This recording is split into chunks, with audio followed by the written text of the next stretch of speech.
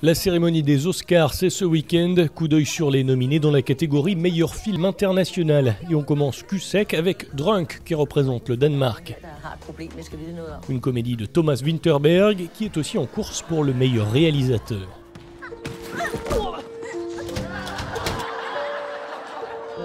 Tout autre ambiance avec Better Days qui représente Hong Kong. Le film traite du bizutage à l'école et il a connu un grand succès en Chine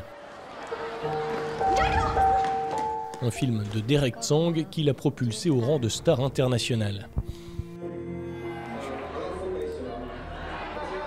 C'est la première fois qu'un film roumain est nominé.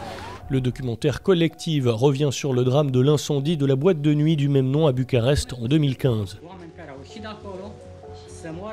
Le film est aussi nominé pour le meilleur documentaire, il est signé Alexander Nanao.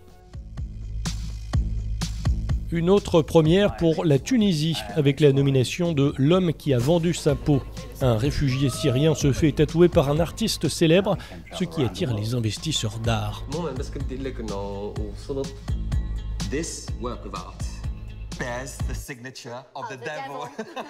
À la réalisation, Kauter Benania.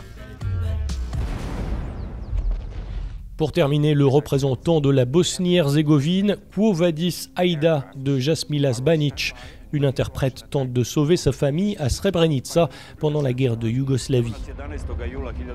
Verdict dimanche soir à Los Angeles.